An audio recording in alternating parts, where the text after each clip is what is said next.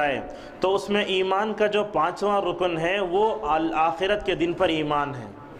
तो हम देखते हैं कि अल्लाह तबारक ताली ने आखिरत पर ईमान का तस्करा कुरान में बहुत जगह फरमाया है। खुशा आप देखेंगे सूर्य फातिहा पढ़िए, अल्हम्दुलिल्लाह रब्बिल आलमीन, अर्रहमानिर्रहीम, मालिकी यौमिद्दीन।